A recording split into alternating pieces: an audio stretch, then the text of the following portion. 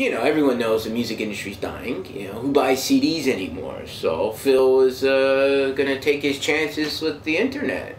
We know there's somebody out there. We're gonna find them.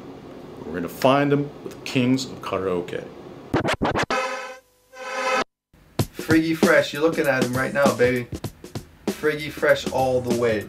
We're gonna be finding somebody who has the potential to be a multi-million record seller. I had this dream, and it was sucking on the teat of a she-wolf.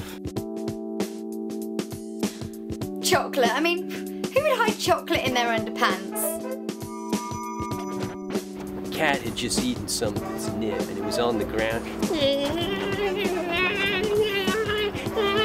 It's a well-known fact that everyone has a doppelganger. That's true. I went on tour with You see, it's true.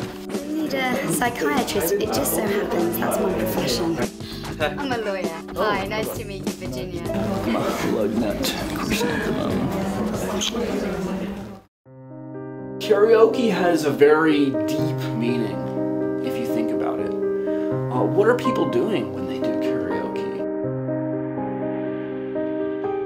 He's probably just a waiter. Well, you know what I think? What do you think? But he's probably out to kill me. He's probably out to kill you. So I want you to call him and scare him.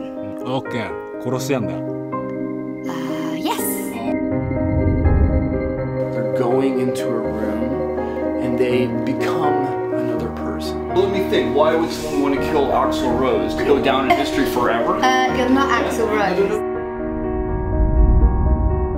Do you see what I'm saying? So for all intents and purposes, I am a god. And I figure if you're the god that you purport yourself to be, you will give me guidance.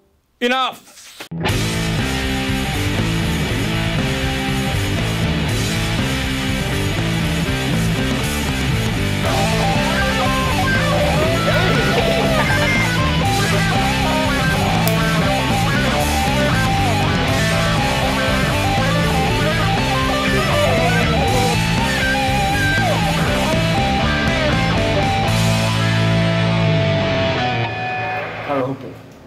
Get it?